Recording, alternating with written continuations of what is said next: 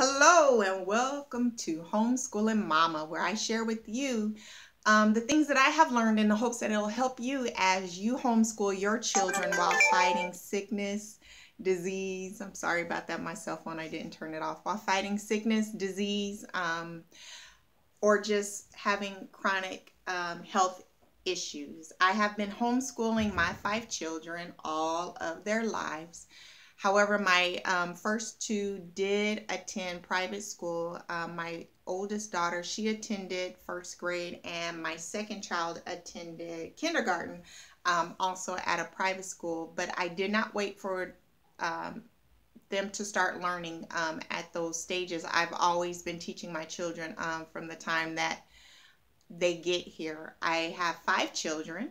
Two are in high school, one are, is in middle school, and two are in elementary school. And my children, um, all, maybe minus one, was writing um, by the age of two, reading by the age of three, um, my youngest children got to benefit um, from all the experience that we learned and gained um, through homeschooling before they got here. And so by the age of three, they were also doing subtraction, addition, and they had moved to um, learning multiple multiplication by the age of two and they were re- i'm sorry by the age of three and they were reading at the age of three. Um, at the age of three i would say my youngest was at reading at a level um, like a second grade level. She is still um, a phenomenal reader um, even now. So i've been doing this for um, a while. I've been doing this for many years and um, I would like to share with you the things that I have learned um, and how we have learned how to homeschool um, while fighting um, a health issue um, in my body. And so hopefully that might help you and it encourage you if you are a mother or a father who is homeschooling and find yourself having health issues in your body. We're going to talk about a lot of things like how to deal with hospitalizations. How do you still homeschool when you're in the hospital, you know? And sometimes um, I've had, you know, a couple days in a hospital. I've had a couple weeks in a hospital. I've had months and I've spent the good part of a year um, in a hospital. So I'm going to share with you how we continue to homeschool um, through all of that. How do you homeschool when you have up days and down days and therapies and appointments and all those different things? We're going to talk about um, just how to do it all. Um, I am not perfect.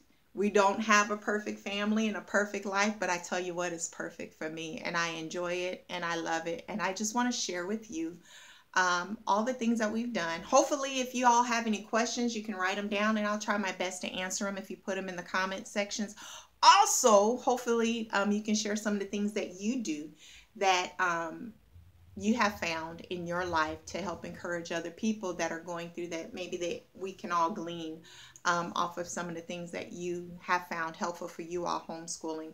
Also i would like to let you know that i do have another channel. If you youtube surviving in the letter n thriving um, you'll find some of the things that we do. And it's basically where we share the things that we have learned to help other families to move from struggling to survive disease to thriving right in the midst of it. And we share the things that we've learned and the things that helped us. So if you want some other um, things that can help you uh, to transition your family from struggling to survive disease to having a great life right in the midst of it and thriving, um, maybe there's some things that you can go over there and look at that might be able to help you. It's called Surviving in the letter N, thriving. Um, and you can YouTube that. Um, but here, primarily, I'm going to talk about the things of homeschooling, um, being a homeschooling mom, being a housewife, being primarily in the home, and how to do that while facing um, and fighting um,